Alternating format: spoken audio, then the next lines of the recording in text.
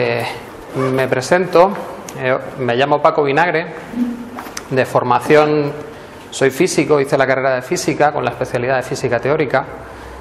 Luego me metí a hacer una tesis con redes neuronales eh, aplicadas a estudios de, reactores químicos. Acabé dando clases en una universidad, clases de programación, incluso monté una empresa de programación. Y ahora en lo que trabajo es en temas relacionados con las emociones y cómo hacemos los procesamientos mentales, cómo cambiamos de eh, comportamiento. Todo este bagaje que llevo es el que yo creo que me ha permitido eh, enfocar el tema del cambio de comportamiento, el tema de eh, entender cómo funciona la mente humana desde otro punto de vista. ¿bien? Porque esa formación científica que te obliga a ser muy lógico, muy estricto en los razonamientos, eh, también te ayuda a descubrir cosas nuevas, ¿no? a, a ver las cosas de otra manera. Y pues ese es el objetivo de hoy. Espero que os sea agradable, que os interese y que pasemos un buen rato. ¿Bien? Bueno, pues lo primero es definiros el objetivo de esta charla. En esta charla lo que pretendo es haceros una propuesta para entender el comportamiento humano, ¿no? una propuesta diferente. Y para eso lo primero que hemos de hacer es entender cómo funciona el cerebro y la toma de decisiones en los seres humanos. Vamos a hacer un repaso de las últimas investigaciones que se han producido tanto en neurología como en psicología para ver en qué nos podemos apoyar, en qué eh, evidencias experimentales nos podemos apoyar para luego formular una hipótesis de cómo puede funcionar el cerebro y cómo tomamos esas decisiones e incluso podemos hacer una serie de experimentos para comprobar si esa hipótesis puede ser más o menos razonable y encontrar una serie de conclusiones si esa hipótesis fuese cierta. ¿De acuerdo? Este sería el esquema de la, de la charla. Pero lo primero es tener en cuenta que más del 90% de lo que hemos aprendido sobre el cerebro se ha producido desde 1997. Luego, todos los que hemos estudiado antes del 2000 o incluso antes del 2010, no tenemos ni idea de los últimos descubrimientos, porque desde que un descubrimiento se hace hasta que llega a un libro de textos suelen pasar 20, 30 o 40 años. ¿Vale? Luego, la idea de que tenemos de cómo funciona el cerebro puede ser totalmente equivocada, no encajar con eh, los experimentos que se hacen eh, en las últimas fechas, ¿de acuerdo? Este cambio, eh, en esa fecha, en 1997, eh, que es una fecha tan estricta, es debido a que se introducen eh, nuevos sistemas de medición. Es decir, tenemos nuevos aparatos que nos permiten explorar el cerebro vivo. Antes todos los casos se hacían sobre cerebros muertos o sobre personas que se les dañaban ciertas partes del cerebro y se estudiaba el comportamiento que se tenía. Pero no había manera de ver qué estaba pasando dentro del cerebro. Bien. A partir del 97 aparecen nuevos equipos modernos como es la resonancia magnética, la tomografía por emisión de positrones, un escáner mejorado y con esto podemos ver eh, secciones muy finas del cerebro humano y también ver cómo funciona el cerebro en vivo. Podemos contemplar a partir de esas imágenes qué zonas del cerebro se están activando cuando hacemos determinadas actividades. Hemos de tener también en cuenta que, aparte de los nuevos descubrimientos, más del 80% o el 80% de lo que se creía saber en 1990 es falso. Bien, o sea, no solo hemos añadido conocimientos nuevos, sino que muchos de los conocimientos tradicionales no concuerdan con la realidad. ¿De acuerdo? Como, por ejemplo, a Kahneman y Tversky, que son premio Nobel en el 2002 por trabajos que hicieron en 1979, en esos trabajos decían que los seres humanos rara vez toman decisiones racionales, pues resulta que en las investigaciones posteriores, por ejemplo Alex Puget, nos dice que el cerebro humano toma muy buenas decisiones con los datos que tiene. Siempre que esas decisiones sean inconscientes. Cuando nos metamos a hacer un segundo pensamiento la liamos. Pero de primeras, el cerebro funciona impresionantemente bien para hacer eh, toma de decisiones con muy pocos datos. ¿Cómo consigue esto? Pues porque el cerebro funciona a base de probabilidades. Hay como un umbral en el que yo estoy más o menos seguro de lo que quiero o del resultado y cuando se supera ese umbral el cerebro manda al consciente esa información y nos dice cuánto más o menos estamos seguros de lo que estamos diciendo o la decisión que tenemos que tomar. ¿Vale? O sea que es un sistema bastante complejo, pero muy bueno. Bien, pues vamos a ver qué sabemos por ahora del cerebro y eh, os voy a hacer un recorrido por eh, las últimas investigaciones y siempre hemos de tener en cuenta que las investigaciones pueden estar en discusión. O sea, lo que yo os presento puede que haya otro grupo de científicos que lo pueden poner totalmente en duda. Bien, pero así es como evoluciona la ciencia. Cada uno tiene sus teorías y la teoría que aguanta frente a los experimentos es la que se ajusta mejor a la realidad. Bien. Bueno, pues lo primero que tenemos que tener en cuenta es que eso que propuso Freud o incluso antes, de que existe una parte consciente y una parte subconsciente en el cerebro, ahora podemos demostrarlo que es totalmente cierto. Se hizo un experimento en el que se sometía a personas a eh, un test matemático, tenían que resolver un problema, mientras se les tomaba una imagen de su cerebro, un PET que es la tomografía por emisión de positrones.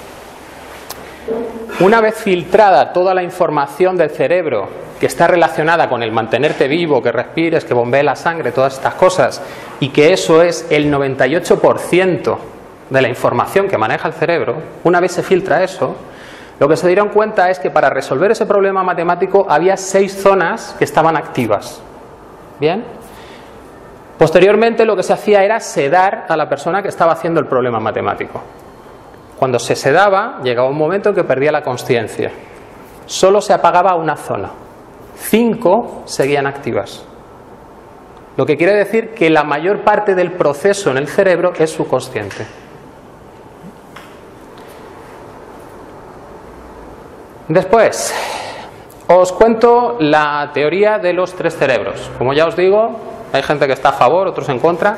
A mí me parece una teoría buena para eh, darnos cuenta de que el cerebro procesa como por zonas y unas eh, interfieren sobre otras o unas modulan las respuestas de otras. ¿bien? Además, es una explicación evolutiva que viene muy bien.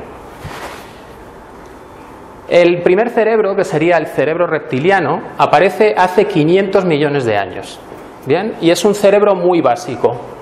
Maneja las funciones vitales e el comportamiento instintivo. ¿De acuerdo? 200 millones de años después aparece el cerebro límbico, el de los mamíferos. Y es un cerebro que está relacionado con las emociones. Bien, es un avance con respecto al reptiliano, porque el reptiliano tiene un funcionamiento de 1 o 0, o estoy quieto o estoy atacando, o me muevo o no me muevo. Mientras que el cerebro límbico me ofrece una, una graduación en esa respuesta.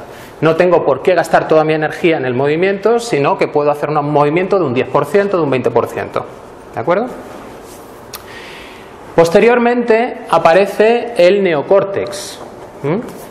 Eso aparece hace 60 millones de años, es decir, 250 millones de años después, todavía que el límbico. Y lo que permite es tener una mente intuitiva, es decir, puedes procesar qué puede ocurrir en el futuro. Hay una proyección hacia el futuro. Ese cerebro, ese neocórtex, se especializa posteriormente y hace dos o tres millones de años se crean dos hemisferios. Veremos luego por qué puede ser que tengamos esos dos hemisferios. Pero uno de esos hemisferios se especializa y es el que nos permite hablar. ¿Bien? El que nos permite tener un lenguaje.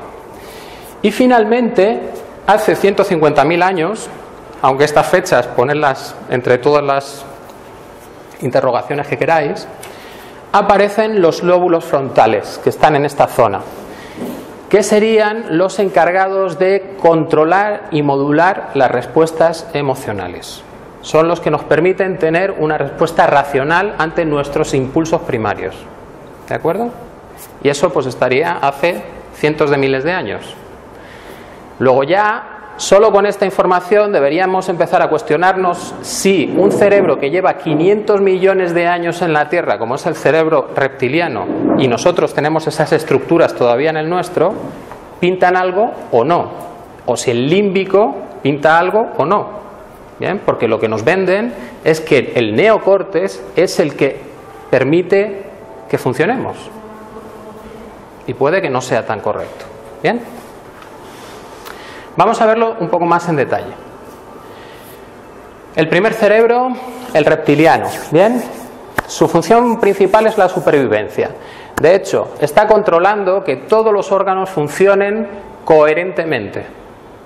Si nosotros conscientemente tuviésemos que organizar los 10 billones con B, billones españoles de células que hay en el cuerpo, colapsábamos. ¿Bien? Luego tenemos un sistema muy bueno que apareció hace 500 millones de años que permite que el cuerpo funcione y funcione muy bien. Es el receptor del tacto, el olfato y eh, procesa el espacio y el movimiento. Encargado de, de coordinar los comportamientos repetitivos, y esto es importante. Cuando nosotros entrenamos una acción, primero lo hacemos conscientemente, pero llega un momento en que dominamos esa acción y somos capaces de hacerla sin darnos cuenta. El ejemplo clásico es conducir. Estás conduciendo y pasan tres kilómetros que no te has enterado ni por dónde ibas. ¿Bien? Toda esa información se guarda ahí. ¿Por qué? Porque este cerebro es el más rápido. El cerebro reptiliano es el que responde con mayor rapidez ante los estímulos externos. Bien, y si hay una amenaza, tú lo que quieres es funcionar muy rápido. ¿Mm? Por eso los cuerpos de seguridad entrenan continuamente porque saben que se van a encontrar en situaciones de estrés y tienen que responder rápido y siempre igual. ¿Mm?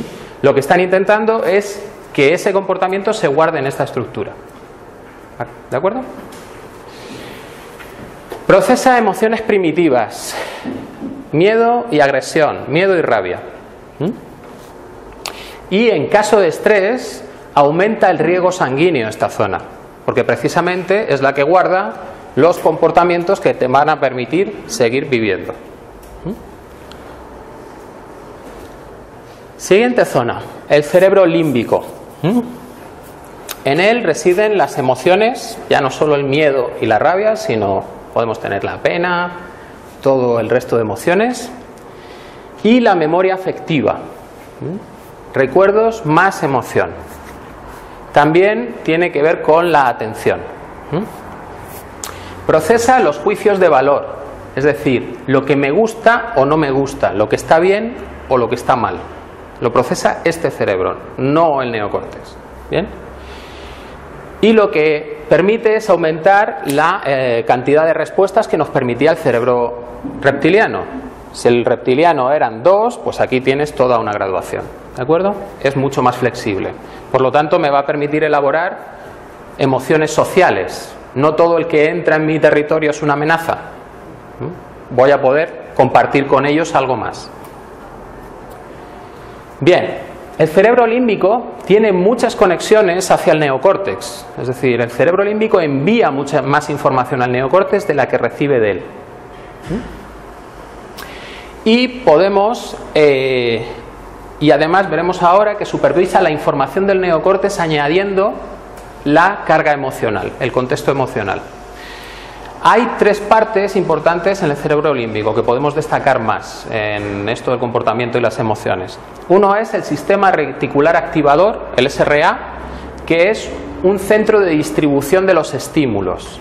¿Mm? Lo veremos ahora. Luego está la amígdala, que sería la central de alarmas y peligros y que junto con el hipocampo lo que va a hacer es modular cómo se guardan eh, los recuerdos, qué carga emocional van asociada a, asociada a cada uno de los recuerdos.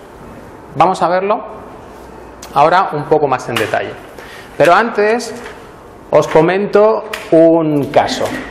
Hay un síndrome que se llama el síndrome de Capgras. Bien, este síndrome ocurre cuando en un accidente se daña la conexión entre la zona visual y la zona emocional.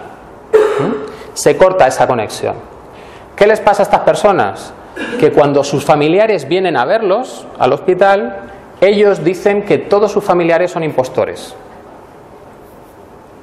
No son sus familiares. Y da igual lo que les comentes, dicen, sí, sí, tú puedes contarme lo que quieras, pero no eres mi familiar, eres un impostor. Sin embargo, si el familiar les llama por teléfono y hablan con él, hola mamá, ¿qué tal estás? Ningún problema. ¿Por qué? Porque cuando tú percibes algo, es muy importante tu respuesta emocional interna. La respuesta emocional es la que te va a decir si las cosas están bien o no, si hay algo que cuadra o no. Bien, como en este caso está aislada la zona visual de la emocional, tú percibes que esa persona es la que tú esperas, pero la sensación que tú esperas no está. Por lo tanto, falla algo. Bien, luego el cerebro necesita esas dos informaciones para funcionar correctamente, para sentir que las cosas están bien. Bien, hablábamos del sistema reticular activador. Este sistema no es que sea una zona específica, está como distribuido en la, zona del sistema límbico. Y lo que hace es distribuir la información que le llega, es el supervisor de la información. ¿Bien? Incluso supervisa las acciones del neocórtex. Si la señal que él percibe la nota como importante, la manda al neocórtex, al consciente, para que empecemos a darnos cuenta de que está ocurriendo algo importante. ¿Bien? Pero si detecta cualquier tipo de peligro, lo que hace es enviar esa señal a la amígdala para que la procese la amígdala y nos demos cuenta de si eso realmente es demasiado peligroso, hay que atenderlo o no hay que atenderlo. ¿Bien?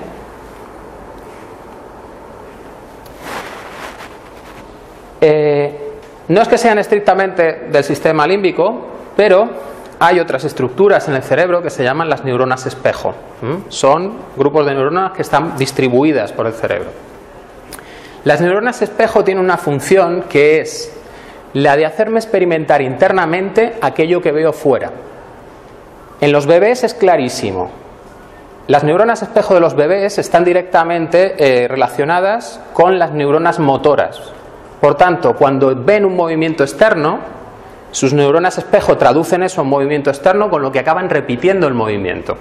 Es un proceso muy sencillo para aprender a moverte, simplemente copiando lo que están haciendo los demás. ¿Vale?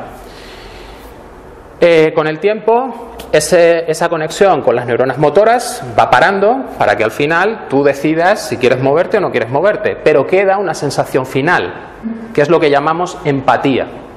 ¿Bien? Cuando percibimos una persona afuera, nuestras neuronas están detectando todo su lenguaje no verbal, toda su tensión, y me la hacen experimentar internamente. Luego, si viene alguien tenso, yo me empiezo a tensar. Si viene alguien tranquilo, yo me tranquilizo. ¿Bien? Ese es el método de empatía que tenemos. Pero es que este método de empatía no es de los humanos. Las ratas tienen también este sistema de empatía. ¿Mm? Hay experimentos con ratas en los que se coge una rata y se atrapa. Se suelta, se suelta otra rata y se le pone comida. La primera rata está estresada. La segunda rata se siente mal porque la primera está estresada. Bien, porque sus neuronas la están haciendo experimentar eso. Bien, si no tuviésemos ese tipo de neuronas no nos preocuparíamos por los demás, porque no nos provocan ninguna sensación y lo que no nos provoca sensación no es importante. Bien. ¿Qué hacen las ratas? Al final tienden a liberar a la otra rata e incluso le dejan comida para que cuando esté libre vaya a comer. Luego lo que suponemos que es algo que nos define como humanos, que es el compartir y el ayudar, no es más que algo biológico que está en nuestro cerebro, en el cerebro que compartimos con los animales mamíferos, en el sistema límbico. Siguiente pieza del sistema límbico, la amígdala. Eh, la amígdala, que sería la zona roja esa, no sé si la veis muy bien, es la que recibe las señales de peligro del sistema reticular activador. Bien. Y ella las categoriza como miedo, ansiedad, estrés. Bien. La amígdala decide cómo va a procesar esa alarma y tiene dos maneras de procesarla. Una, sin pasar por el neocórtex, toma la decisión de qué es lo que hay que hacer, y otra pasando por el neocórtex. ¿Mm? ¿Qué significa esto? Que hay situaciones en mi vida en las que mi cuerpo va a tomar una decisión, mi cerebro va a tomar una decisión, me descubro haciendo algo después de haberlo hecho. ¿Bien? Porque si la zona de mi consciente está en el neocórtex y no llega esa información al neocórtex, yo no me he enterado de nada. Luego hay una serie de reacciones en mi vida que no son controladas por el neocórtex. Luego, si el neocórtex está encargado de parar eso, no va a poder hacer nada. ¿De acuerdo? Bien. Abundando en esta idea, os cuento uno de los últimos experimentos del 2013 en el que se cogió a un ratón macho y se le condicionó para eh, huir del olor de la flor de cerezo. Luego se comprobó que los hijos y los nietos de ese ratón tenían el mismo comportamiento de evitación ante el olor de la flor de cerezo. Se seleccionó un ratón macho para que no fuese posible que la información pasara directamente a través de la placenta. Si coges a una hembra durante la gestación, los, fetos pueden eh, recibir esa información de lo que está viviendo la hembra. Pero en este caso seleccionas un macho que lo único que contribuye con la hembra es con un espermatozoide. Lo que quiere decir que las respuestas emocionales pueden codificarse de alguna manera en las células genéticas y pasarse a las siguientes generaciones. ¿Bien? Luego tenemos otra vía más de tener respuestas emocionales que no están controladas por el neocórtex. ¿Bien? La última pieza que nos quedaba del sistema límbico es el hipocampo. En el hipocampo hay células madre. Se están creando neuronas nuevas. Eso que hace unos años era imposible. Esas neuronas nuevas además son necesarias porque son las que van a permitir fijar los nuevos recuerdos. Si no se crean esas neuronas no hay nuevos recuerdos. ¿Mm? En situaciones de estrés se crean muchísimas más neuronas. ¿Por qué? Porque la situación de estrés es algo que tú necesitas codificar en recuerdos para saber cómo comportarte en un futuro. ¿Vale? ¿Mm? La creación de esas neuronas y esos recuerdos va a estar modulada por la amígdala. La intensidad de la emoción o de la señal que esté pasando la amígdala al hipocampo va a determinar la carga emocional que lleva asociado el recuerdo, si es importante o no es importante. ¿eh?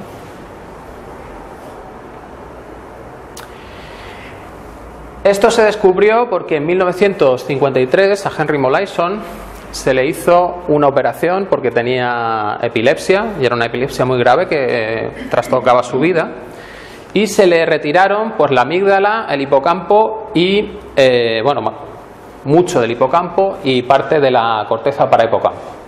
A partir de entonces no pudo generar ni un recuerdo nuevo. Podía ver una película todo el día y jamás se iba a enterar de cuál era eh, el guion.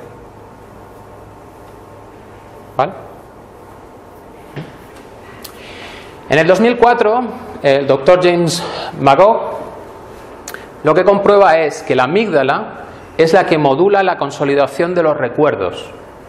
Si la amígdala asigna una emoción intensa, ese recuerdo va a ser muy fácilmente recuperable.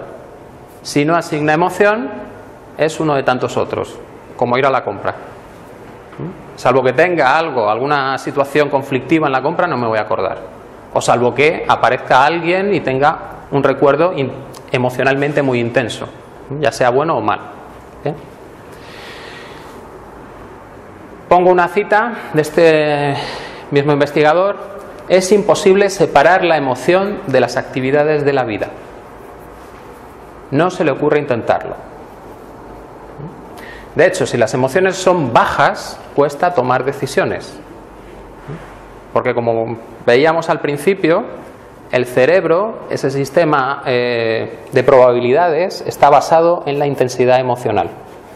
Si la intensidad emocional no supera el umbral, nunca vas a tomar una decisión.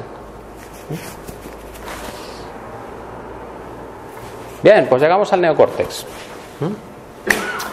Neocórtex se encarga de los procesos intelectuales superiores, se activa para modificar los comportamientos repetitivos, y esto es muy interesante, porque lo que está guardado en el cerebro reptiliano, el neocórtex lo puede modificar.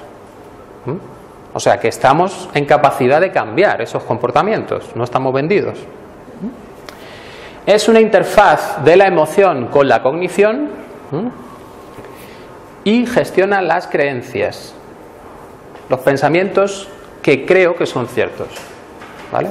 Pero cuidado, los juicios no los controla el neocórtex. ¿bien? Están en el límbico, el que va a decir si esa creencia está bien o está mal.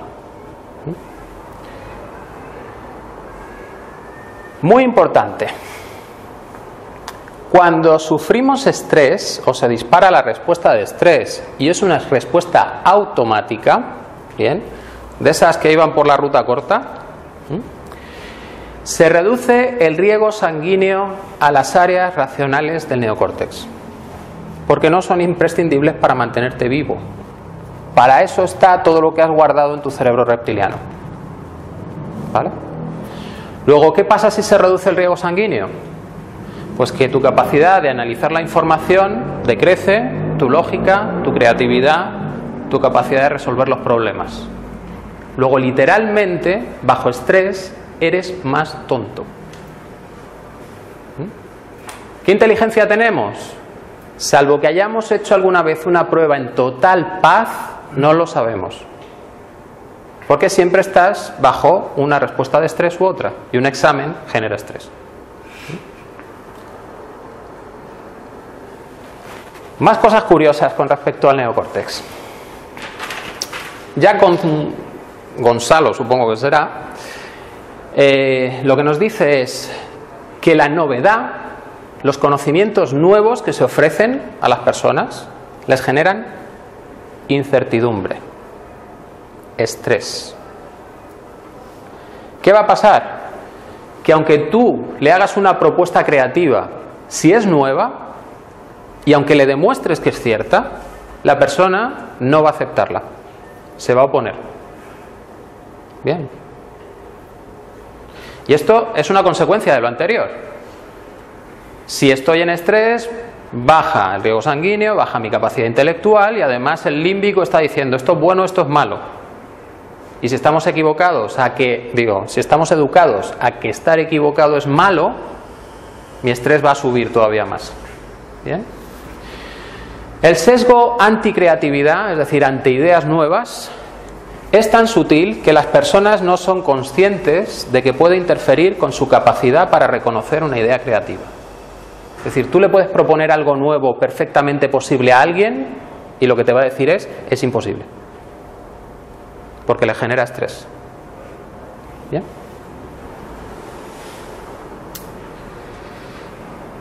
Más cosas.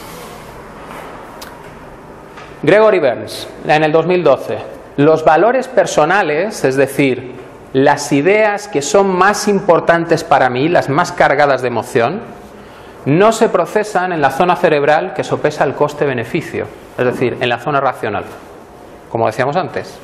Si es un valor para mí, se va a sopesar en la zona del bien y del mal. Y eso no es el neocórtex. Incluso se ponía una prueba matemática para hacer eh, unas operaciones relativamente simples. Esa prueba se pasaba la primera vez y todo el mundo era capaz de hacerla, salían unos porcentajes, todo correcto. La segunda vez, esos números estaban acompañados de eh, una explicación o una argumentación que tocaba tu idea política. ¿Bien? Pues cuando los números iban en contra de tu idea política, la gente no era capaz de hacer las operaciones matemáticas bien. Lo que quiere decir que pesa mucho más la carga emocional que la racionalidad en los humanos. Muchísimo más. Si no, ya nos hubiésemos puesto de acuerdo en la política hace miles de años. ¿Bien?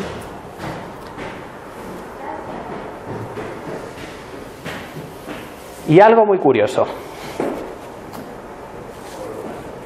Todos, cuando nacemos, tenemos todas las áreas del cerebro conectadas unas con otras.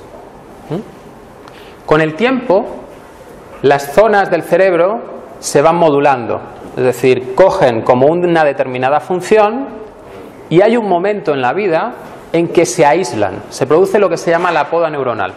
¿Mm? Y las conexiones empiezan a desaparecer, con lo que quedan zonas del cerebro específicas para hacer un trabajo conectadas con otra zona específica. ¿Bien? Eso, en teoría, se supone que es lo correcto. Porque nosotros decimos que algo es correcto si la mayoría de las personas tiene eso.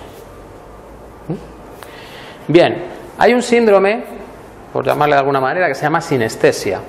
¿Qué ocurre cuando esa poda neuronal no se produce de la manera correcta? Esas personas, en su cerebro, lo que les ocurre es que tienen conectadas zonas que la mayoría de las personas han cortado. Y por tanto, cuando escuchan un sonido, pueden ver un color. ¿Mm? O cuando ven un color, escuchar una nota.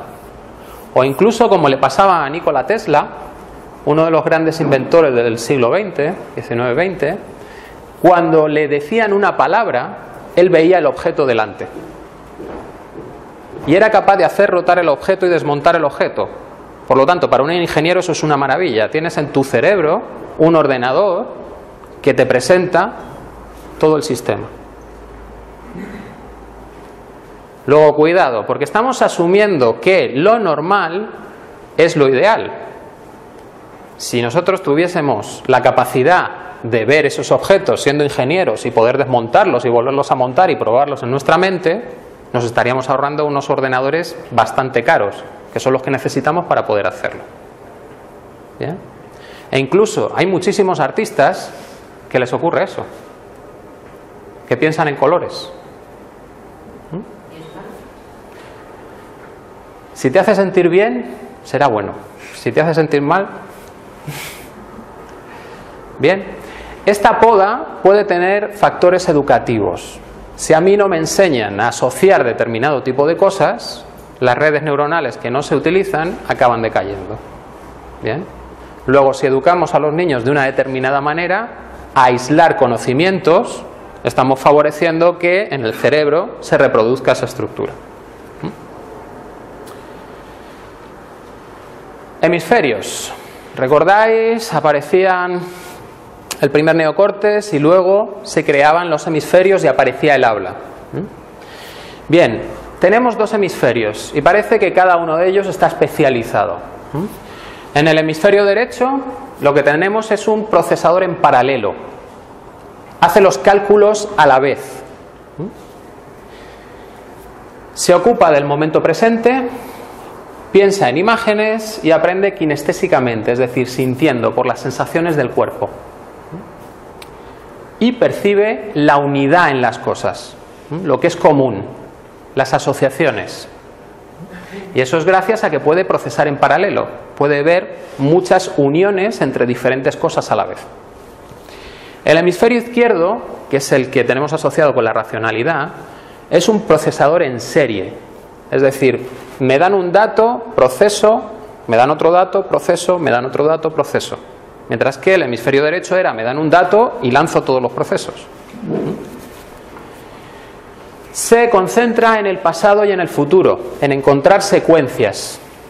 Por eso es lineal. Piensa metódicamente, causa, consecuencia, causa, consecuencia, y en forma de lenguaje. El lenguaje es secuencial, una palabra va detrás de otra. Una imagen, estoy presentando muchos datos a la vez y percibe la individualidad, percibe lo que es diferente en un grupo. Bien, el hemisferio izquierdo encontraba lo común y el, digo, el izquierdo encuentra lo diferente y el derecho lo común. Bien, ¿por qué necesitamos tener dos hemisferios? si con uno, con los ordenadores lineales que tenemos, parece que se podría resultar, eh, resolver cualquier problema. ¿no? Tú vas encontrando la secuencia de causas-consecuencias y con eso sabes cómo funciona el proceso y puedes cambiarlo cuando quieras. Pero es que el problema es que en el mundo real las cosas no son lineales. En 1963, gracias a que hay ordenadores potentes para la época, se descubre que ecuaciones muy simples pueden dar resultados muy, muy complejos. ¿Bien? Y eso es debido a que los términos de la ecuación interactúan unos con otros, influyen unos sobre otros, lo que está dando una complejidad a todo el sistema. ¿Bien? Si os fijáis en el dibujito que se mueven los puntos, ese es el primer problema que los físicos no sabemos resolver. Es decir, con una partícula lo sabemos resolver, con dos partículas lo sabemos resolver, con tres partículas no sabemos resolverlo. ¿Bien? Y estamos entendiendo que la realidad son dos partículas siempre. Porque lo que sabemos resolver tenemos que linealizar el problema. Si no, no hay manera analítica de encontrar el resultado. Hay que utilizar ordenadores para hacer el cálculo. ¿Bien? Bueno, pues estos sistemas que se llaman no lineales, precisamente, eh, como os digo, no son eh, resolubles con lápiz y papel, sino que tienes que ponerlos en un ordenador para hacer los cálculos, están totalmente regidos por leyes deterministas. Bien, aquí no hay azar por ningún lado. Una cosa es que yo no me dé cuenta de cuál es la estructura, pero todo eso tiene su causa-consecuencia. Es determinista. ¿De acuerdo? Eso sí, son muy dependientes de las condiciones iniciales. En los sistemas lineales, si yo me pongo aquí o me pongo un poco más aquí y avanzo, no me separo mucho. Pero si el sistema es no lineal, aunque esté muy junto, se pueden separar mucho las soluciones. Y por eso en el cálculo meteorológico del tiempo que va a hacer dentro de dos días o tres, el porcentaje de exactitud baja rápidamente. Porque los datos iniciales tendría que tener una precisión de muchísimos decimales para poder mantener esa exactitud. Perdemos muy rápido la información. ¿Vale? Es lo que se llama el efecto mariposa. Un aleteo en China puede provocar un huracán en, en Cuba. Son pequeños cambios, pueden traducirse en cambios muy grandes, en corto plazo. Bien, Edward Lorenz era meteorólogo y a partir de ahí, de él, empieza a desarrollarse la teoría eh, del caos, de los sistemas no lineales. Y la Pregoyin químico, Nobel en 1977, se da cuenta de que esas reglas son las que siguen la mayor parte de los sistemas, de sistemas que él llama disipativos, sistemas que toman energía del entorno para mantener su orden. Y eso es un ser vivo. Los sistemas disipativos, los seres vivos, solo pueden existir en conjunción con el entorno, no pueden vivir aisladamente. ¿Mm? Necesitas esa energía de fuera para mantener tu propia forma, tu estructura. Suelen tener una dinámica caótica, es decir, pequeños cambios pueden hacer que varíes mucho. ¿Mm? Tienden a la autoorganización, es decir, ellos solos son capaces de crear estructuras cada vez más complejas y nada es al azar. Aquí no existe azar por ningún lado. Son los propios sistemas los que crean esas estructuras porque en su dinámica internamente está crear eso. Y lo último es darnos cuenta de que la vida es uno de esos sistemas disipativos. La vida tiende a crear estructuras cada vez más complejas, esto es física, esto es química. No es una idea que se le ocurre a un biólogo. Bien, aquí no hay azar.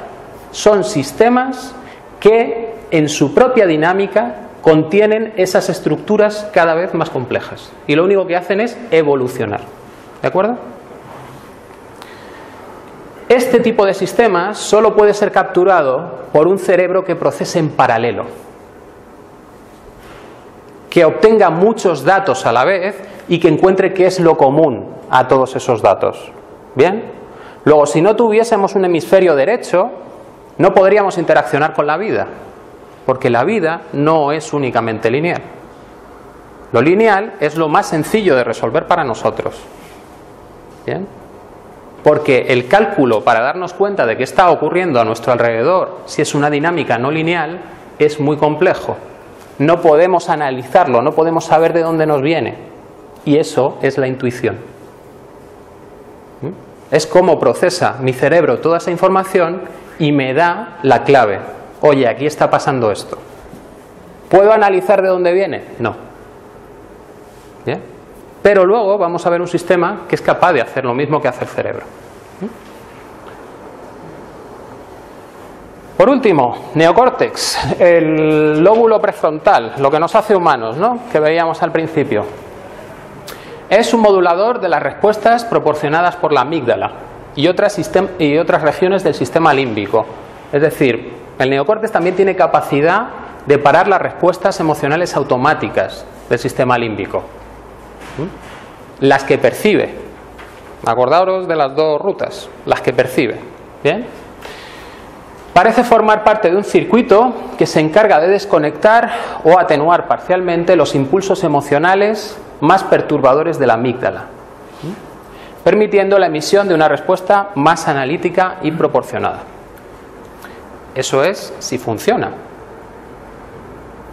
Porque esta parte está en el neocortes. ¿Y qué le pasaba al neocortes bajo estrés? No funciona. Exactamente.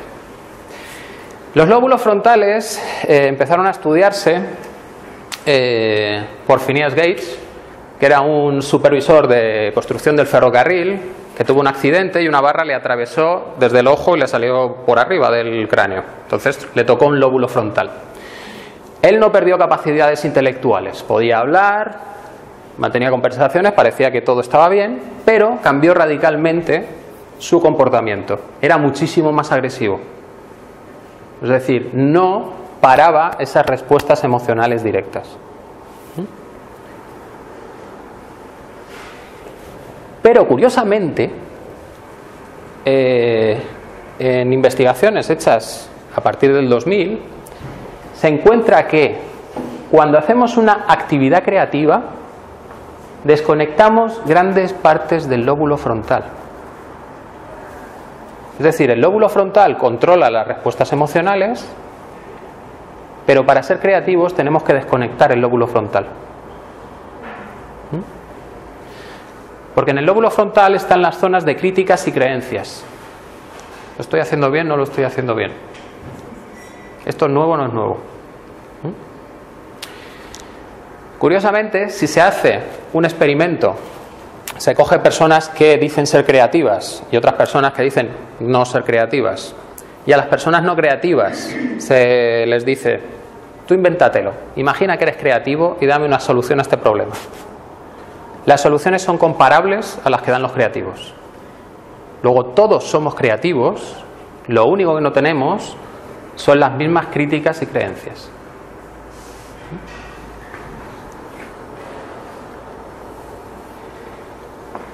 Y una noticia buena es la plasticidad neuronal, ¿no? Conocéis el término que significa que por fin los científicos se han dado cuenta de que el cerebro es orgánico y lo orgánico cambia y se repara y, cambia su estructura y se reorganiza. Bien.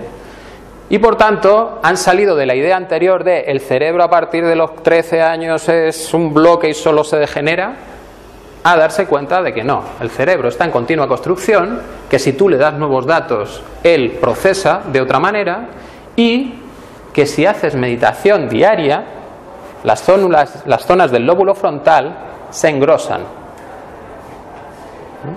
se hacen más fuertes y te resulta mucho más fácil controlar tu comportamiento.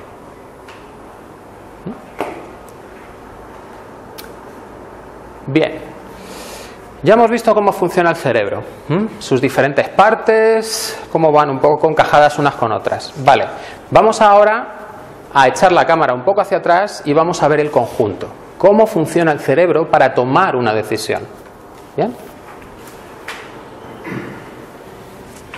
Esta es la teoría del marcador somático de Antonio Damasio. Y lo que nos dice es, cada vez que se genera un, un, recuerdo en el cerebro, y eso es algo subconsciente, porque nosotros no decidimos qué recuerdo guardamos y cuál no, lo que estamos haciendo es almacenar todo lo que ocurre fuera, es decir, la percepción externa de los sentidos, de los cinco sentidos externos, lo que estoy pensando y mi estado interno, lo que siento en ese momento. ¿Vale? ¿Para qué sirve esto? Para generar patrones reproducibles que luego puedo utilizar en situaciones similares. Mi cuerpo se ha preparado de una determinada manera, si eso ha estado bien y he tenido una solución positiva, pues está bien guardar esa forma completa para poder utilizarla después. Bien, incluido lo que siento. ¿Qué pasa cuando recordamos? Que el cerebro activa toda esa información guardada. Entonces nos vienen las imágenes, nos vienen los sonidos, nos vienen las sensaciones, los olores, nos viene la emoción y los pensamientos. Todo se activa otra vez. Y el cuerpo vuelve a estar en el mismo estado que estaba entonces. ¿Bien? Porque el cuerpo es un conjunto. Y si yo con ese conjunto resolví el problema, no me voy a dejar piezas. Voy a volver al mismo estado y entonces resuelvo otra vez el mismo problema de la misma manera. ¿De acuerdo? Bien, pues esa sería la base del sistema de aprendizaje básico del cuerpo. El estímulo-respuesta. Ante un estímulo externo, yo tengo una respuesta interna, que es la activación de esos marcadores somáticos, de esos patrones emocionales. ¿Vale? Todo en la vida está creando esos estímulos-respuesta. E incluso, aunque yo tengo un estímulo principal y mi respuesta es hacia ese estímulo principal, si hay más estímulos secundarios, esos también se pueden, se pueden relacionar con mi respuesta. ¿Bien? Y si, por ejemplo, yo estoy teniendo una bronca con alguien y veo pasar un perro, ese mismo tipo de perro me va a recordar la misma sensación, porque está relacionada en ese recuerdo. ¿vale? Luego, ese estímulo me va a disparar la misma respuesta. ¿Bien? Y eso son cosas que no puedes controlar, porque lo hace el cerebro. Ya veremos que esos estímulos se pueden eh, modular o incluso liberar. ¿Bien? Lo que decía antes, ¿para qué sirven estos recuerdos? Pues precisamente para prever lo que va a ocurrir en un futuro. ¿Mm? Ese es el gran avance del cerebro humano, del neocórtex, que nos permite anticiparnos a lo que puede pasar para tomar las mejores decisiones. Cuando imaginamos, se activan las zonas de los recuerdos. ¿Mm? Y entonces aparece todo ese contexto emocional, pensamientos, todo lo que se guardó. ¿Bien? ¿Qué futuro es el que vamos a elegir? Aquel que sentimos como posible. Sentimos. ¿Vale? Y todos lo sabemos. Cuando nos tenemos que ir a pedir un trabajo al día siguiente y nos imaginamos, Buah, pues yo voy, es que directamente el tío me saca el papel y me lo da para que lo firme. ¿Por qué no nos lo creemos? Porque no lo sentimos cierto. ¿Vale? Es como lo que hablábamos de los familiares, no encaja con la sensación. ¿Mm? Aquí la clave es la emoción, es la que me va a decir si las cosas son ciertas o no. ¿Mm? Por tanto, la credibilidad se siente. Los recuerdos más intensos son los que van a generar futuros inevitables. Porque cuando yo me empiece a imaginar una situación, si uno de mis recuerdos que encaja con esa situación tiene una emoción muy intensa, yo voy a entrar en el mismo estado. Si en aquel momento no pude superarlo, yo no voy a sentir que lo voy a superar en el futuro. Y por tanto entro en un bucle de comportamiento. ¿Vale?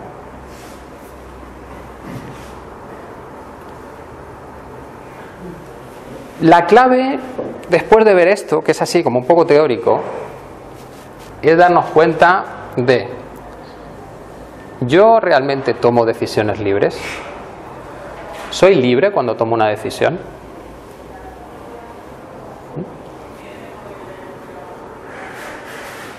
Benjamin Libet, durante los años 70-80, hizo experimentos con el cerebro, sobre todo con las partes motoras, y ponía un electroencefalograma y detectaba cuando había actividad en el cerebro, cuando ibas a hacer un movimiento. Si estimulaba el cerebro a través de un campo electromagnético, una determinada zona del cerebro, tú sentías, la persona que estaba recibiendo esa señal, sentía que tenía ganas de hacer el movimiento. ¿Mm?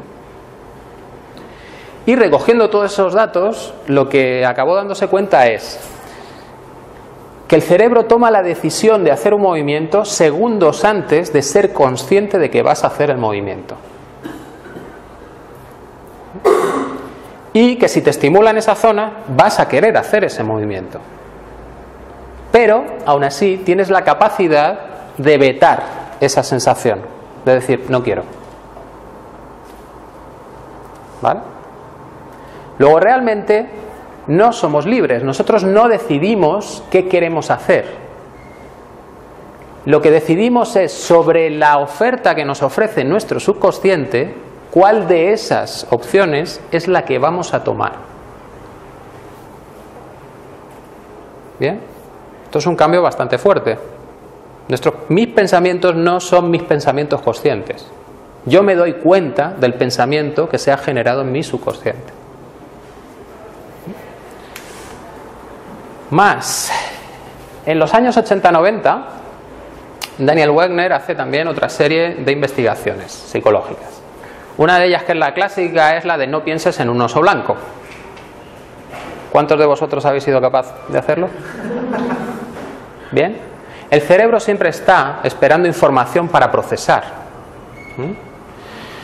Si tú intentas no pensar en un oso blanco, lo que estás haciendo es reprimir Estás cargando emocionalmente esa palabra o esa imagen. Y al final no vas a poder más y va a aparecer. Pero si te dedicas a pensar en el oso blanco continuamente, llega un momento en que te aburres y esa imagen desaparece. O sea que el cerebro funcionaría un poco al revés de lo que nos suelen proponer. Más cosas. Wegner también investiga sobre la sensación de que yo tomo las decisiones. Y por ejemplo, tiene un experimento que es, tienes un ratón y una pantalla, si tú mueves el ratón y el cursor que ves en la pantalla más o menos coincide con lo que tú esperas, automáticamente tu cerebro dice yo estoy moviendo el ratón. Aunque en la pantalla esté un ratón movido por otra persona. ¿Vale? Y eso hay veces que pasa. ¿no? Lo típico en la sala de ordenadores, coges el ratón del de al lado, tú lo empiezas a mover, el otro mueve el tuyo y estás ahí como peleando diciendo, ¿qué pasa aquí? ¿Mm? Porque crees que eres tú. Tu cerebro tiende a asociar. En cuanto hay una intención y una acción, tiende a asociar que es lo mismo, que son provocadas por mí. Y no tiene por qué.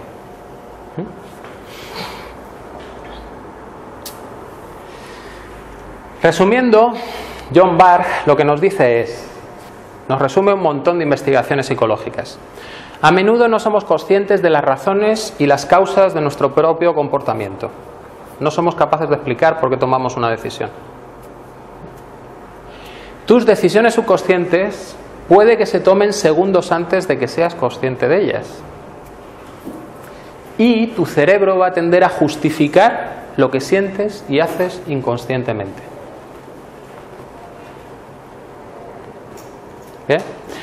Hay algún experimento que se hace con hipnosis en los que se pone a una persona en el suelo y luego se le saca del estado hipnótico.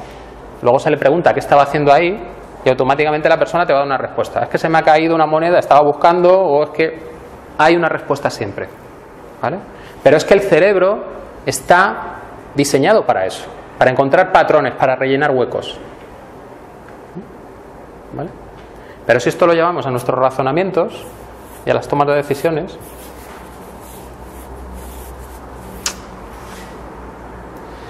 más. Bueno, pero las cosas morales las tenemos muy claras, ¿no? Lo que está bien y lo que está mal, eso está clarísimo y ahí no hay ningún problema para decidir. Bueno, hay un experimento, el experimento Milgram de los años 60, en las que se pone en una habitación a una persona con una máquina delante y no ve a otra persona que en teoría está detrás y es un experimento para mejorar la memoria. En él se le dice que si tú aplicas una descarga a la persona que está detrás cuando se equivoca, lo que haces es mejorar su memoria y entonces cada vez va resolviendo mejor el problema. Pero esa descarga, cuanto más se equivoque, la tienes que subir más, porque si no, no funciona. Y le avisan que hay un límite en el que, bueno, puede ser peligroso para algunas personas, pero si hay que pasarlo, pues se pasa. Se empieza a hacer el experimento y en el otro lado hay una persona que es un actor. Y va respondiendo, llega un momento que se equivoca y le da la descarga. Mueve la palanca. El actor grita. Sigue el experimento y el actor va equivocándose cada vez más, con lo que llega un momento en el que hay que superar esa dosis que puede ser mortal. Dos tercios de los participantes llegaban a la dosis mortal porque se apoyaban en lo que les decía el experimentador que tenían al lado. Continúe, continúe. Si tú tienes una autoridad que te dice algo, tiendes a cumplir lo que dice la autoridad. Y otro experimento muy curioso es el de Zimbardo, eh, de hecho hay una película, en el que se escogen a estudiantes, se recrea una cárcel y un grupo de estudiantes va a ser eh, presos y otro grupo de estudiantes son los vigilantes. Y se les iba a dejar ahí dos semanas. Al final, los, estudiantes se meten tanto en su rol que al cabo de seis días hay que parar el experimento por las crisis emocionales que había. Los que en teoría tenían que llevar la seguridad, pues empezaban a propasarse con los presos y había bastantes problemas. Es decir, la mente, cuando te metes en un rol, tiende a asumir el rol. Con todas las consecuencias. Resumiendo, experimentos de este estilo. Las personas, de nuevo, las personas en realidad no nos pueden decir cómo llegaron a una decisión. Nuestras creencias preexistentes mucho más que nuevos hechos, pueden sesgar nuestros pensamientos e incluso colorear lo que consideramos nuestras conclusiones más desapasionadas y lógicas. Cuando estamos diciendo, no, objetivamente esto es lo mejor. Realmente no hay objetividad ninguna. Estás cumpliendo una creencia que se activó en tu subconsciente segundos antes y por eso has tenido un tiempo para buscar una justificación. Las emociones morales y las, y las intuiciones conducen al razonamiento moral. Tú primero sientes, tienes una intuición de lo que es correcto o no, y luego vas a buscar cómo meter con calzador los razonamientos para que eso sea así. Nos acordamos del ejercicio de matemáticas, ¿no?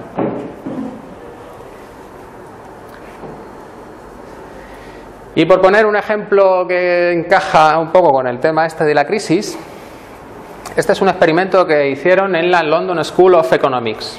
O sea, no son psicólogos ni nada. Lo que intentaban eh, investigar es cómo funcionan los incentivos económicos para mejorar el rendimiento en los trabajadores. ¿Qué se encontró? Que salvo que el trabajo que hagas sea absolutamente mecánico, es decir, una línea de trabajo en la que estás apretando tornillos, Todas las demás trabajos, si tienen un mínimo de razonamiento de toma de decisión, se desempeñan peor si hay una recompensa monetaria después.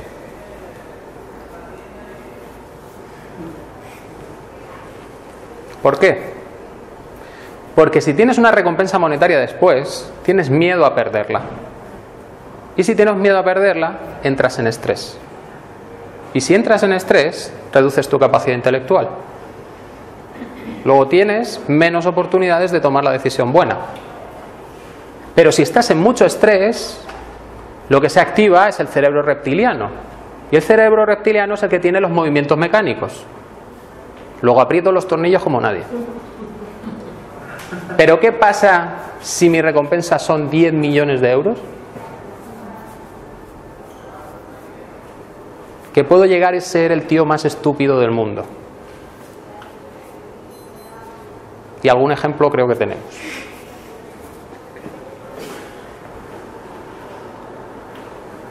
En resumen, cuando generamos un recuerdo, guardamos en esa caja del recuerdo lo que pasó, lo que pensé, lo que sentí. Cuando tomo una decisión, mi subconsciente me presenta un montón, o más bien genera un montón de opciones en esos procesadores paralelos que tiene. Esas opciones se filtran, porque no me llegan todas. ¿Y cuál es el criterio de filtrado de las decisiones o de las opciones para decidir? La intensidad emocional.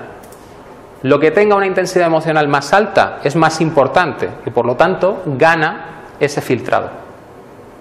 Ya sea positivo, ya sea negativo, me da igual. Intensidad emocional. Si esa intensidad no es lo suficientemente alta como para bloquear mis lóbulos frontales, el neocortes todavía puede parar esa decisión y decir, vamos a darle una segunda pensada a ver si encontramos otra cosa. Pero, si la respuesta que ha encontrado mi subconsciente viene con una carga emocional que me mete en estrés, muy fuerte, el sistema eh, de los lóbulos frontales se bloquea. Y lo que entramos es en los patrones de comportamiento automático. Una y otra vez. ¿Bien? Vale, pues ya hemos dejado claro cómo está el asunto, ¿no? Aquí vamos a hacer la parte de la analogía computacional para ver otro enfoque, a ver si conseguimos eh, una solución diferente. Y lo primero que quiero presentaros es este dibujo, bueno, este dibujo, esta imagen. Eso que veis ahí de colorines son bichitos, bichos muy pequeños, larvas. Y se ven de colorines porque están puestos en un microscopio de refracción. Esos colorines solo se ven si el interior de esos seres vivos es un cristal orgánico. Bien. Luego los seres vivos estamos compuestos de cristales semiconductores orgánicos. Cristales líquidos, como los de las pantallas de los teléfonos. Luego nuestra estructura interna es lo más parecida posible a la de un ordenador.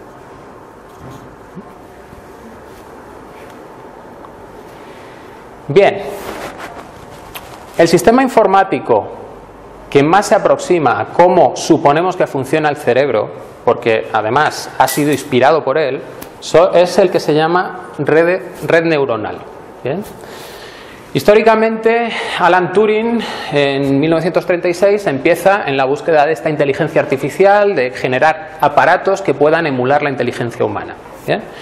Pero hasta 1943 no se juntan un, neuroanatomista y un matemático y crean la primera red neuronal, un perceptrón, que es capaz de distinguir entre dos opciones, capaz de clasificar cosas. Bueno, eh, lo que intentan es modelar la biofisiología del cerebro humano. En los primeros tiempos, hasta los años 80, los que se encargan de hacer este trabajo pues son principalmente fisiólogos.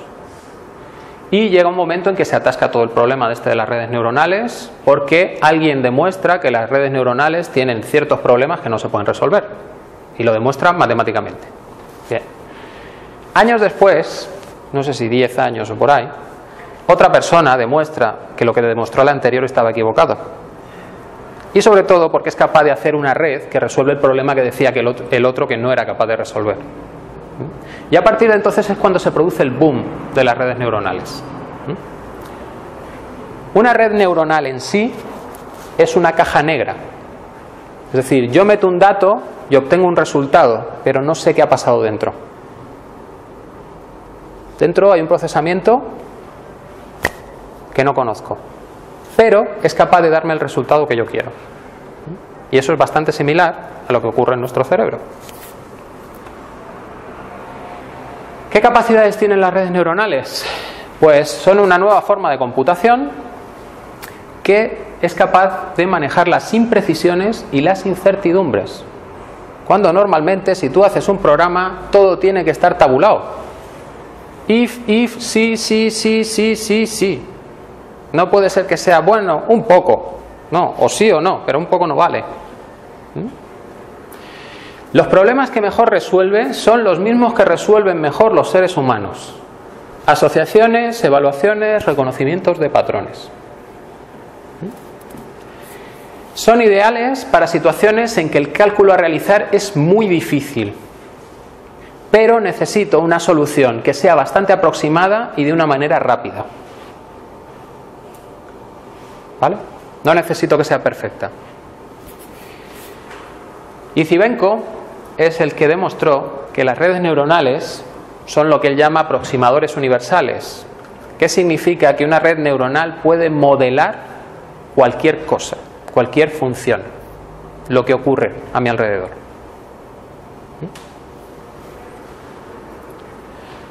Ejemplos de redes neuronales. Pues, por ejemplo, en medicina. Hay redes neuronales en medicina que tienen un éxito en diagnósticos del 98%, muy superior al de cualquier médico. O sea que si nos diagnosticase una red neuronal, normalmente acertaba bastante más que el médico. Tenemos redes neuronales generando, por ejemplo, paisajes de animación. En las películas de animación, todos esos detalles que ponen por los fondos y tal, no es que un tío sea un chino y se dedique ahí a pintarlo todo, sino que hay algoritmos que te permiten generar estructuras biológicas que parecen reales.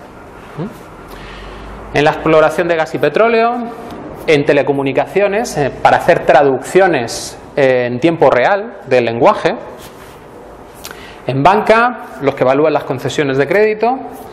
En electrónica y robótica, sintetización de voz, reconocimiento de voz. Incluso hay programas en los que tú puedes chatear con el programa y al final no sabes si es un humano o es una máquina. En finanzas, predicción de los precios de las divisas, es decir, cómo evoluciona el mercado. De hecho, cuando yo hice la tesis, eh, tenía que trabajar con una red neuronal y claro, siempre te sale la idea, Joder, pues si la red neuronal modela el caos y la bolsa es caótica, pues vamos a ver cómo lo modela. Y lo modela muy bien. Pero eso sí, solo puedes predecir a un día. Al segundo día tienes un 25%. ¿Vale?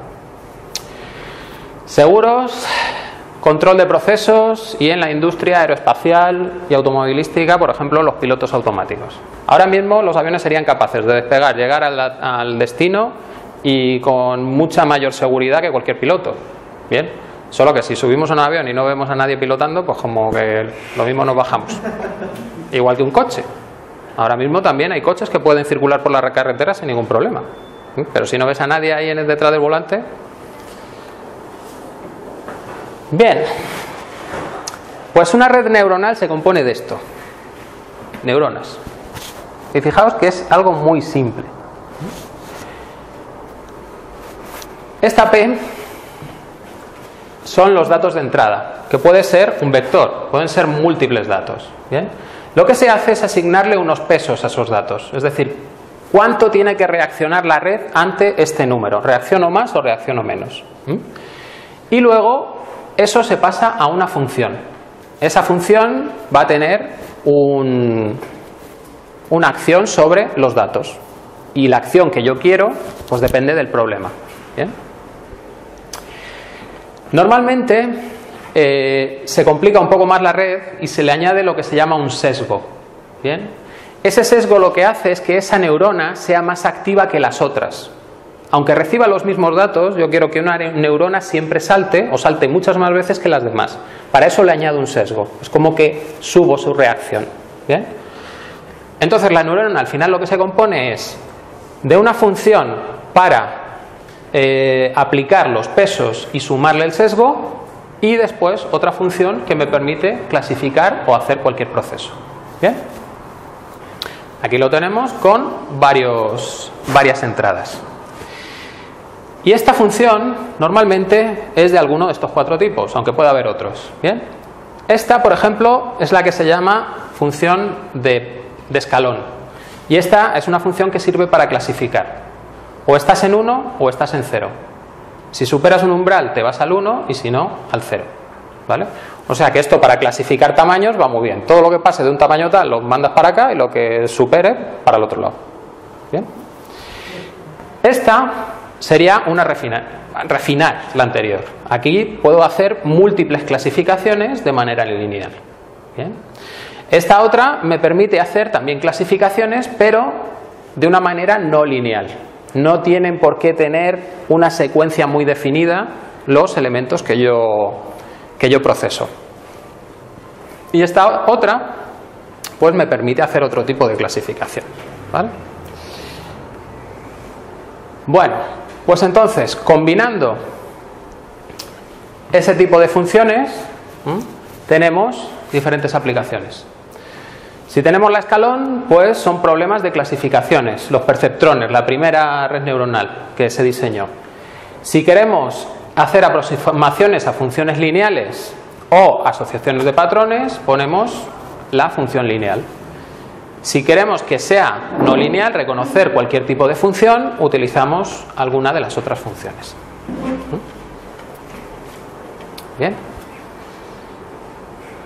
Y luego solo nos queda complicar el tema de las neuronas, juntar unas con otras y poner un montón de capas dependiendo del problema que yo quiera resolver. Cuanto más complejo, pues más capas necesitaré porque tendrá que haber eh, un reconocimiento de esa complicación interna.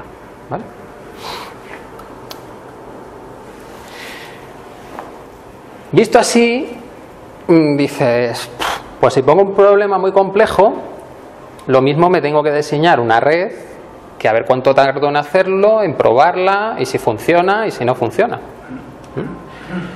Pues bueno, redes neuronales tenemos de dos tipos. Unas son las prediseñadas, es decir, yo quiero resolver un determinado tipo de problema y me diseño completamente la red para que lo haga, pero también tengo otro tipo de redes neuronales que se autoorganizan, que a partir de los datos de entrada y salida, ellas mismas generan su estructura interna neuronal y son capaces de resolver el problema. Eso es muy parecido a lo que hace el cerebro.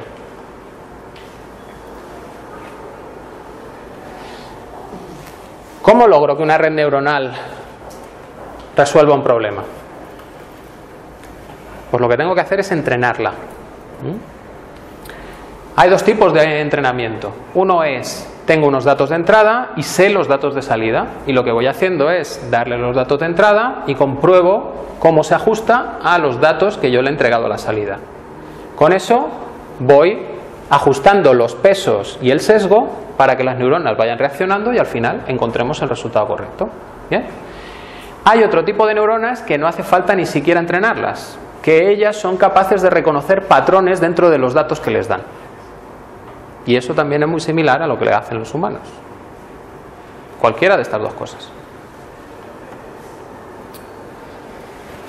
Bueno, os he plantado aquí las redes neuronales, yo las, he vendido muy bien porque parece que resuelven cualquier problema, pero las redes neuronales también tienen sus, sus ajustes. ¿Qué problemillas me puedo encontrar con una red neuronal? El primero es, si yo entreno a una red con unos determinados valores de aprendizaje, puede que no sea capaz de predecirme valores que estén fuera de ese rango. ¿Vale? No sea capaz de extrapolar. Entonces, pues hay que ver qué tipo de red utilizo o entrenar con más valores para poder hacer el ajuste. Y luego tengo dos problemas bastante importantes. Cuando entreno a la red, puedo tener lo que se llama el subaprendizaje. Que la red, en vez de ajustarse a los datos buenos, encuentre un patrón que no es el real, porque le faltan datos. ¿Bien? Eso no tiene mucho problema, porque lo único que hay que hacer es añadir más ejemplos. ¿Mm? Añades más ejemplos o ajustas mejor las neuronas para que vayan muestreando cada uno de los puntos y pueda reconocer cuál es el patrón. ¿Bien? El otro problema es más complejo, que es el sobreaprendizaje.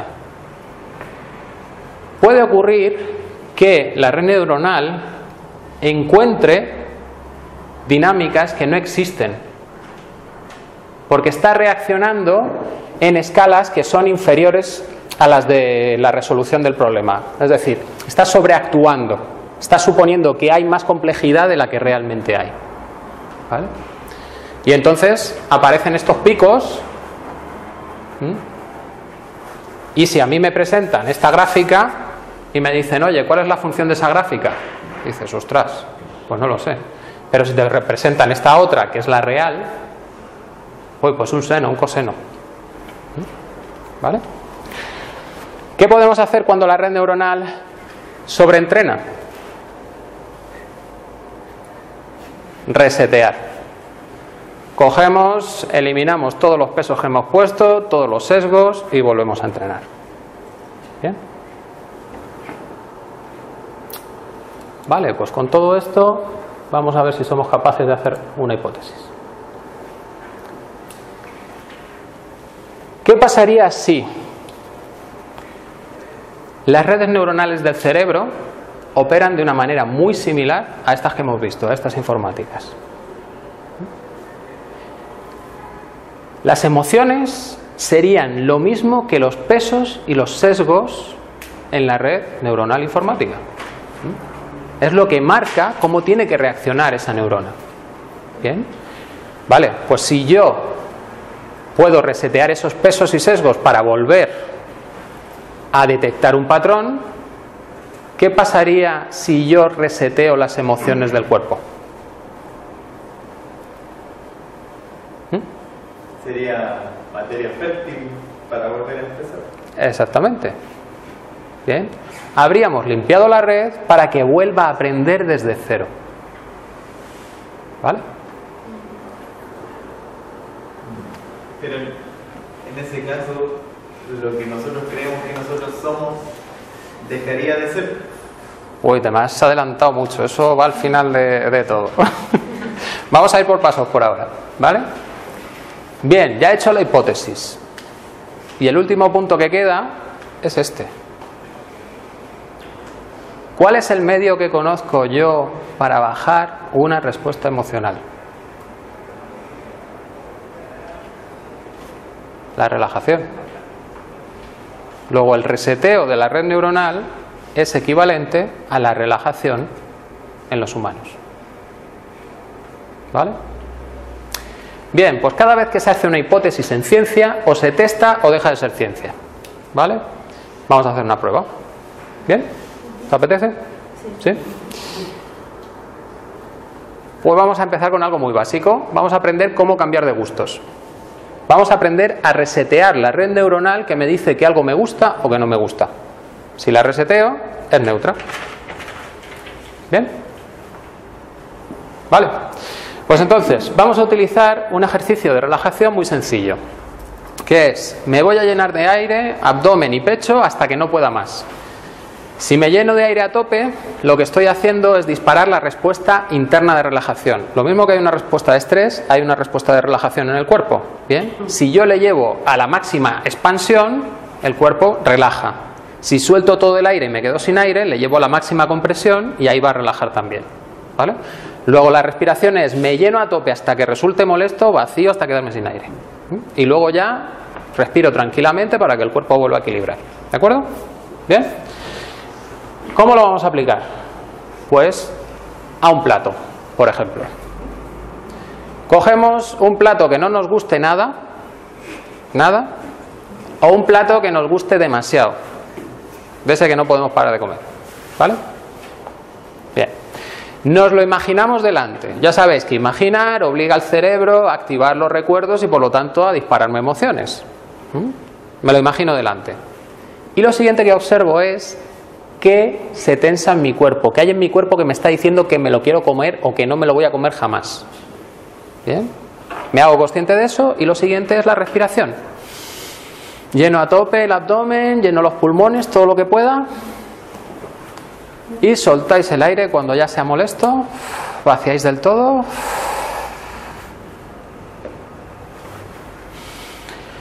Luego vendrá un suspiro. Dejamos respirar el cuerpo dos o tres veces. Y observamos que ha cambiado. Sigue ahí la sensación. Si sigue la sensación, tendré que volver a repetir el proceso. Tendré que relajar todavía más. ¿Bien? me lleno abdomen y pecho, todo lo que pueda. Y cuando me llena a tope, suelto todo el aire, encojo, hasta que llegue el suspiro. Vale, volvemos a poner el plato delante y observad que ha cambiado. Puede que haya cambiado algo muy poquito, pero lo normal es que haya cambiado algo. ¿Qué ha cambiado? Lo mismo el plato es más grande, es más pequeño, se ha alejado, lo tengo más cerca, puede estar borroso. Miro al plato y vuelvo a observar qué sensación está en mi cuerpo.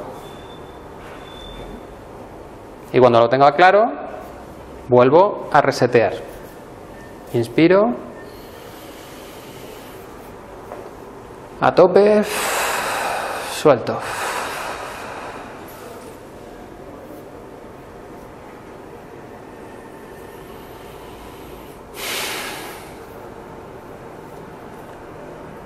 Y vuelvo a observar. ¿Qué pasa con el plato? ¿Alguien le cambia? ¿Alguien se atreve a decir algo? ¿No? ¿Cambia el plato o no? Sí, bueno. ¿Vale? Si va cambiando el plato, ¿por qué es? Porque la respuesta emocional no es la misma. ¿Y os acordáis que el cerebro tiende a justificar? Luego, la respuesta emocional y mi pensa lo que veo, lo que imagino y mis pensamientos tienen que ser un equipo. Estar todos acorde. ¿Vale? Entonces, la primera vez yo pongo el plato y digo, no me lo comería jamás. Ese es mi pensamiento. El plato está allí, porque no quiero ni olerlo. Empiezo a descargar la parte emocional, a resetear esas neuronas, esos pesos, y el plato de repente ya puede estar aquí. Y mi pensamiento es, bueno, es que exageraba. Claro, tengo que justificar el cambio emocional. Ya no siento lo mismo que antes. ¿Bien?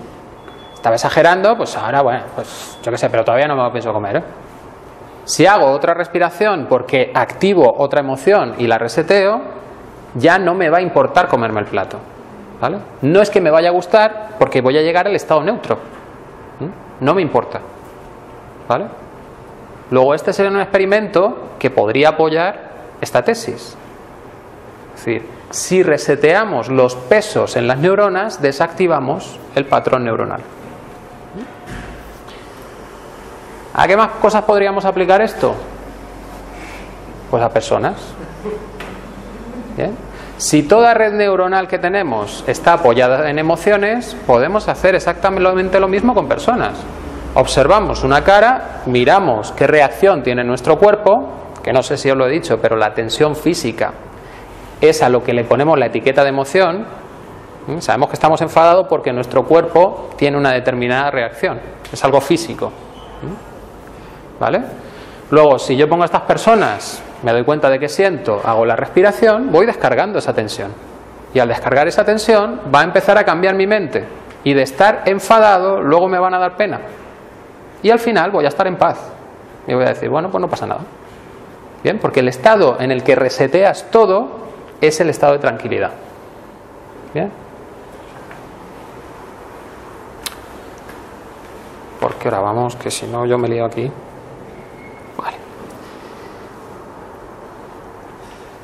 ¿Con qué más puede valer? Con situaciones. Si hay situaciones que me provocan una emoción, me provocan miedo, me provocan rabia, me provocan pena, si yo simplemente relajo esas sensaciones físicas, va cambiando mi estado. Mis pensamientos van a ser acordes a mi estado emocional y lo mejor de todo, ¿os acordáis de las neuronas espejo? ¿Qué pasa si yo voy descargando la emoción de mi cuerpo? ¿A qué estado voy llegando? A la tranquilidad. ¿Qué estoy proyectando a los demás? Tranquilidad. Cuando dos personas están tranquilas, ¿se entienden o no se entienden? ¿Cuándo no se entienden? Cuando están en una emoción. ¿Vale? Luego, si yo aplico esto, lo que consigo además es que los demás me traten diferente porque no estamos en el mismo estado. Yo estoy en un estado de relajación y relajo a la persona que está delante de mí. ¿Mm? Y si está relajada y se, y se refleja en mí, va a confiar. Y cuando confías, puede pasar cualquier cosa. ¿Vale?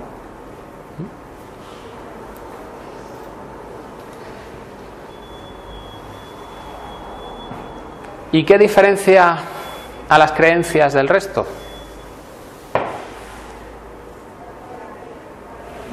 Nada. Si tenemos redes neuronales que son capaces de hablar con nosotros en un chat y convencernos de que son humanos, ¿qué importancia tienen los pensamientos? Esas frases han salido de una red neuronal que ha sido entrenada para decir las cosas de una determinada manera. Nuestro cerebro ha sido entrenado para decir las cosas de una determinada manera y creerme que unas cosas son ciertas y otras son falsas. Sentir que son ciertas o falsas. Si reseteo de nuevo los pesos emocionales, evalúo las creencias objetivamente. Porque cuando estoy tranquilo tengo mi capacidad intelectual total y soy capaz de seguir la lógica de todo proceso, hacerlo perfecto. ¿Mm? ¿Vale? Luego, mientras no cambiemos nuestro estado emocional, esto de la política va, va un poco complicado. Bueno, os pongo aquí posibles frases con las que os podéis identificar. Si os identificáis con alguna, lo único que hay que hacer para cambiar es resetear la emoción.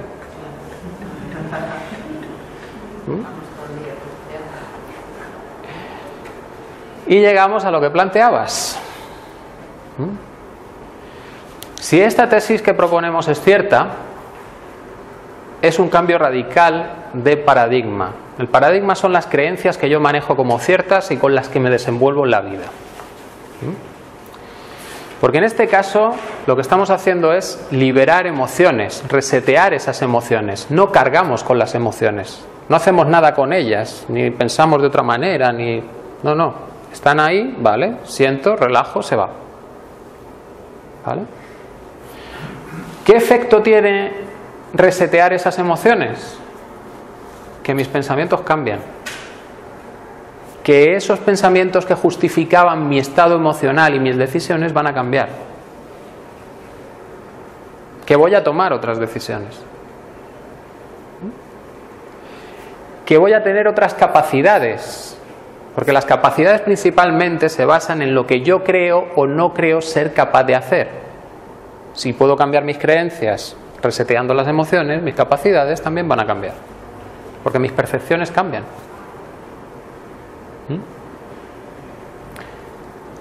Cuando digo yo quiero algo, si eso es un pensamiento que por detrás hay una red neuronal con una emoción que dice que quieres eso y tú relajas, ¿qué va a pasar con el quiero?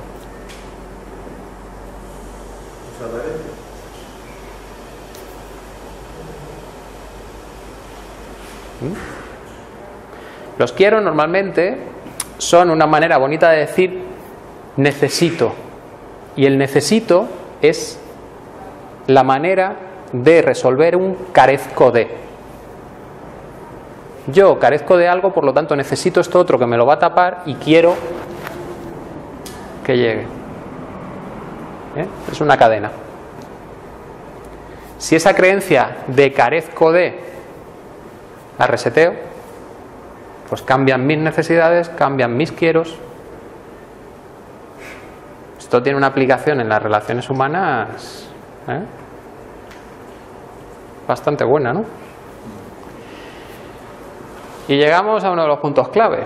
Si las convenciones sociales se han desarrollado para no dispararnos las emociones los unos a los otros, es decir, la buena educación es no hacer que el otro se sienta mal. ¿Vale? Si yo ahora puedo resetear mi estado emocional, llegará un momento en el que ya no necesite la convención social. Es decir, ya es cosa de cada uno el sentirse bien o sentirse mal. No soy yo el que te lo provoca. Es tu estructura interna la que contiene esa emoción. Si tú reseteas tu estructura interna, dejas de tenerla. Luego yo ya no soy el estímulo para esa emoción, porque no está. No soy la causa yo, lo externo. La causa es tu estructura que guardó una determinada emoción en un recuerdo. ¿Vale? Pues eso, con esto nos podríamos quitar el miedo, la vergüenza, la culpa, todos los condicionantes estos educativos. Y llegamos a lo último. Si con esto puedo resetear todas mis redes neuronales, todas mis creencias, ¿quién soy?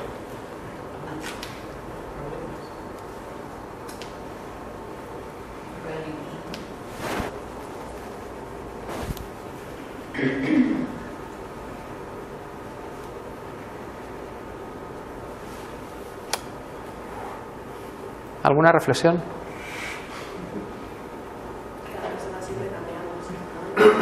Claro, sí, sí. Mm, Sí, Hay algo que nunca cambia. algo que nunca cambia. Que somos la persona que pregunta quién soy. Eso sí, claro. Pero es que tú te has ido a la base base. Bien. Esta pregunta está puesta principalmente por alguna frase filosófica del estilo eh, eh, encuéntrate a ti mismo, que puede ser interpretada como dentro de mí hay una estructura de identidad que es la correcta y hay un montón de cosas que me dispersan de eso. Viéndolo así, dentro de ti no hay ninguna estructura de personalidad que sea la correcta, simplemente eres. Y lo que puedes hacer es crear la que a ti te dé la gana en cada momento. Es decir, tú en tu vida vas decidiendo qué papeles quieres desempeñar, como si fuese los de una película, y los vas cambiando cuando te apetezca.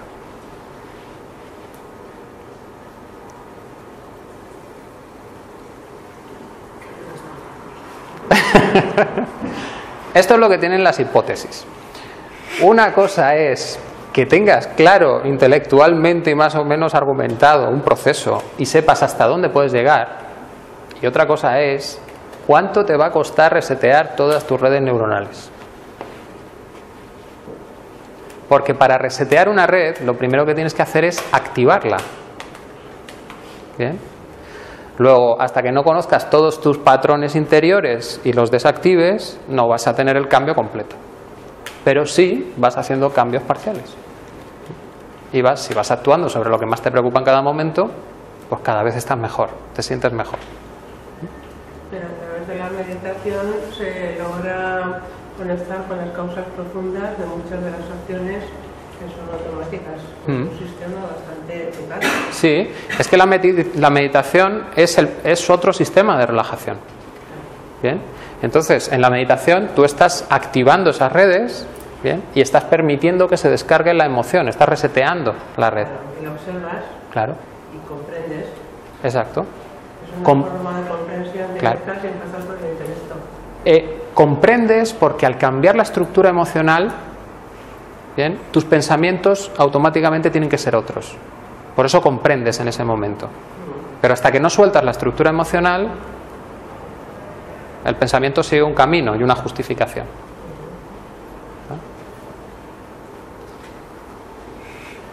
¿Alguna pregunta más?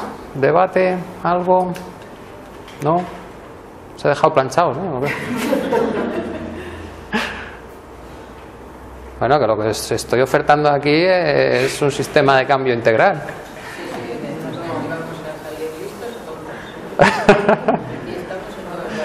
Hombre, aquí la clave es que tienes un problema, empieza a resetear redes, vete relajándote y a ver si van apareciendo nuevas soluciones.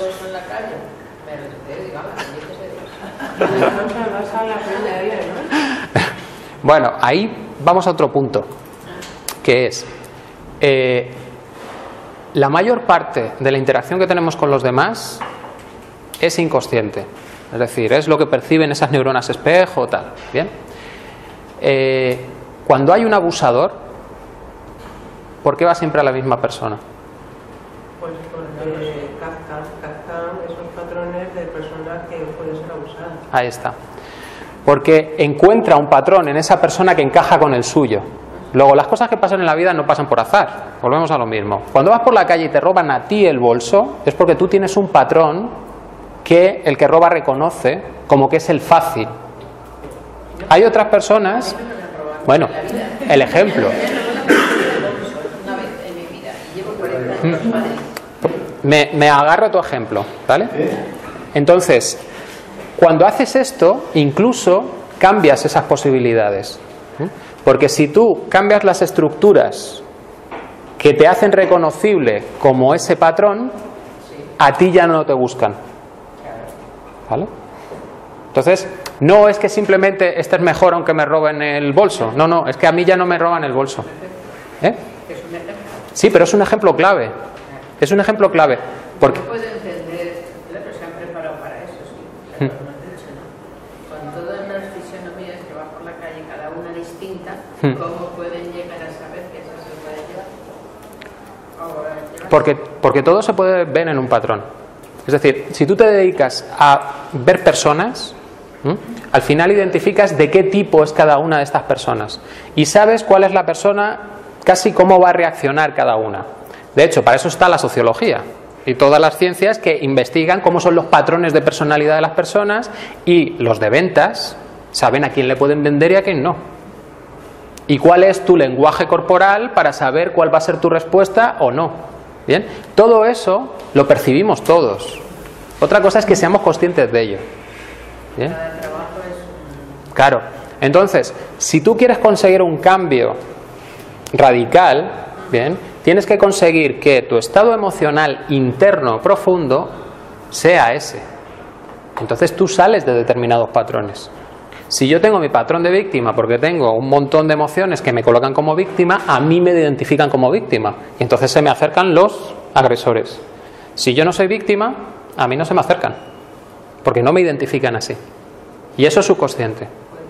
¿Mm? Dime. Hay también una cosa respecto a lo del bolso, es que el que te va a robar el bolso Sí, te está detectando que vas preocupado porque no te lo quiten y luego llevas algo interesante claro. y, estás cebando. Claro, precisamente. Sí, sí. Una persona que va confiada, bien, proyecta esa confianza. A, mí, me- a mí me ha pasado, por ejemplo, ir por algún sitio un poco relativamente peligroso o, o- o que, que yo asocio a peligro Sí. y mentalizarme y decir, tranquilo, yo no mete nada. ¿Y pasa? Creo que no mete nada, porque luego dices eso. Sí, sí. Es que esa es otra de las partes que descarta eh, la manera de entender al ser humano. Eh, o cómo entendemos al ser humano comúnmente. Lo entendemos solo como algo racional que solo provoco a la gente con mi palabra o con mi acto directo. ¿Bien? Pero mis emociones y mi lenguaje no verbal, eso no cuenta, no dice nada. Cuando se analiza, realmente más del 70% de la información que tú transmites es a través del lenguaje no verbal. Y ese no lo controlas. Ese va controlado por las emociones, por los cerebros antiguos. Entonces, o cambias esas redes, sueltas esas emociones para cambiar tu lenguaje no verbal, o estás en tus mismos patrones de siempre, aunque seas consciente de que no los quieres, pero siempre estás ahí. ¿Vale? Qué complicado. A ver, realmente es muy simple, pero, pero como nuestro cerebro se niega a reconocer cualquier cosa nueva porque nos pone en inseguridad, pues lo vemos complicado. A mí me ha costado años, ¿eh? también. Yo lo cuento aquí porque ya he superado toda esa carga. ¿bien? Y yo lo suelto aquí ya es como, ala, ya me habéis dado, os he dado la vuelta a la vida, ¿no? Pero bueno, mirad a ver si funciona, hacéis experimentos y si funcionan los experimentos, seguid adelante. ¿Vale? ¿Alguna pregunta más? Bueno, pues nada, muchas gracias por venir. Espero que os haya gustado y nada,